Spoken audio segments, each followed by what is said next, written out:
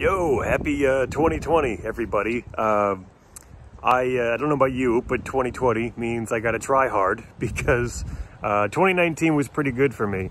I got to the point where I was making a, a healthy, uh, middle class, lower middle class living, uh, doing my stand up gigs and traveling all over. But the thing I kept hearing from everybody is if I ever want to step up and headline A rooms is I got to get my social media on point. I got to develop a social media following and online presence. And to be honest, I've been trying specifically not to do that because uh, the social media thing exhausts me. I, uh, I it, wears me down to do it. Um, but I've been working really hard on my mental health in 2019 and I feel like I'm ready to give it a shot. So unfortunately, uh, they always say with social media, you got to follow the formula, but I didn't, I didn't get into comedy to follow formulas. So I'm to try this my own way. I've got plans. i am always scheming. So uh, yeah, do me a favor and add me on Twitter and Instagram at Travis is joking.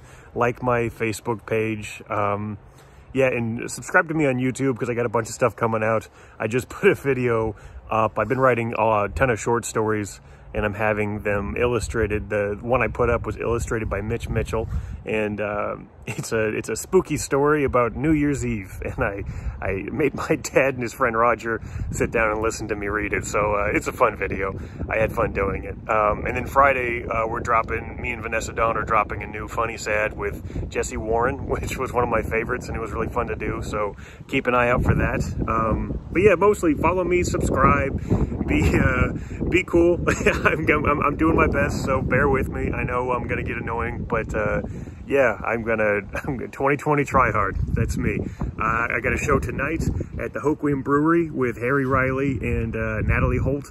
Uh, and then tomorrow at Lowercase in Seattle, you want to do me a big, I'm cashing in my 2020 favors. I need you guys to come to Lowercase Brewery tomorrow, Thursday, 7 o'clock. It'll be me, um, I think Chris Mejia is dropping by to do a guest set. Natalie Holt is featuring, and Harry Riley is headlining. And it is just such a fun group of people. Uh, you guys should get there. If you buy tickets, you get a free beer with your tickets. So you really have no reason. Why am I twisting your arm? Go get a beer and watch the great comedy show. Hoquiam Brew tonight, Lowercase Brewery tomorrow night.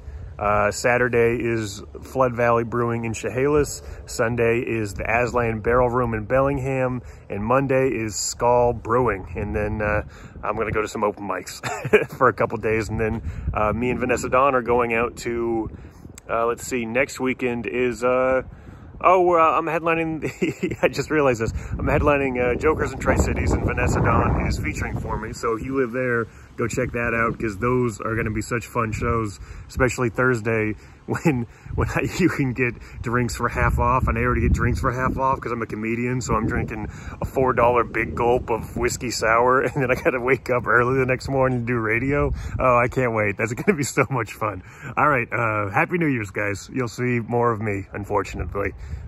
Bear with me.